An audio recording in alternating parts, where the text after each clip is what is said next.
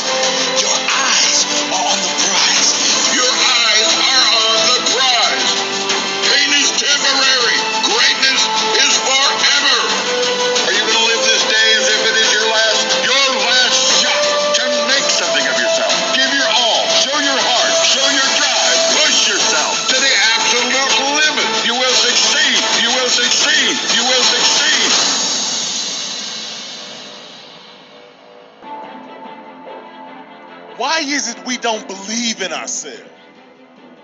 Why is it that as soon as things get tough in our lives, we start doubting ourselves?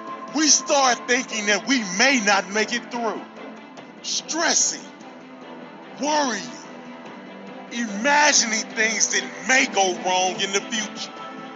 I'll tell you the human mind is powerful, but it can also be destructive. It can be your greatest friend or your worst enemy. The person you see reflecting in the mirror will always provide you your greatest challenges in life. Take control of your life, control of your mind. Conquer yourself and you can conquer anything in this world.